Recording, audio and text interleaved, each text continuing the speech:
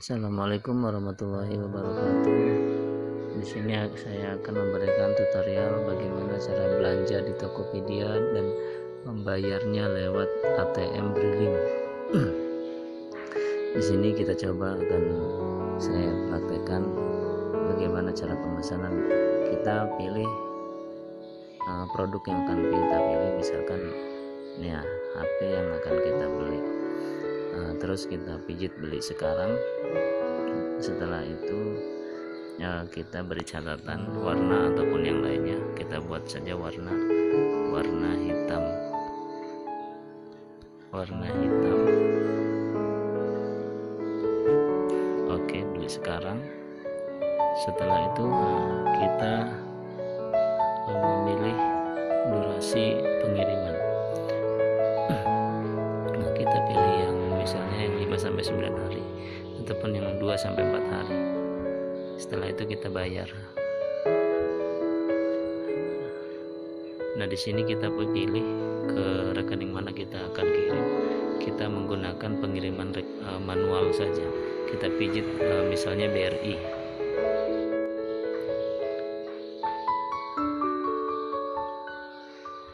nah setelah itu kita akan bayar di uh, eh, ATM Briling. Jadi nominalnya kita harus pas uh, ujungnya 775 rupiah ini harus pas. Jadi ini kode untuk pembayaran ke rekening uh, si perusahaan Tokopedia. Tapi kalau semuanya ujungnya ini salah itu transferan kita akan gagal. Makanya kita harus teliti di kode ujungnya dan ini nomor BRI yang dikirim oleh Tokopedia. Jadi kita tinggal langsung saja bagaimana cara pengirimannya dari ATM eh, Briling. Kita coba. Nah, baik. Ini bagaimana kita cara mentransferkan lewat uh, eh, ATM Briling untuk pembayaran uh, si HP tersebut dari Tokopedia. Kita langsung saja uh, pijit seperti biasa ATM ini. Setelah itu kita pijit transfer sesama BRI dan kita langsung um, kita gesek. Sorry berarti ini yang baru harus disuntik ya. Nah setelah itu nominalnya tadi harus kita ingat 2 juta 561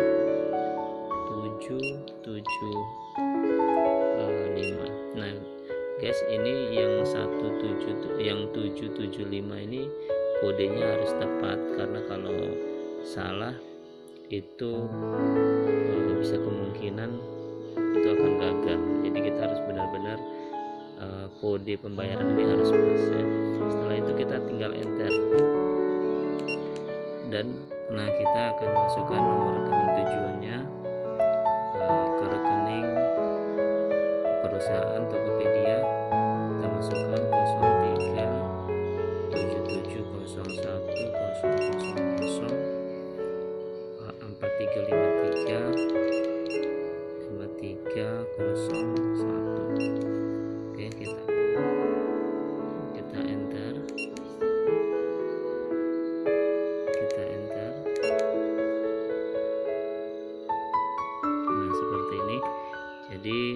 Eh, tujuan Tokopedia jumlahnya 2.561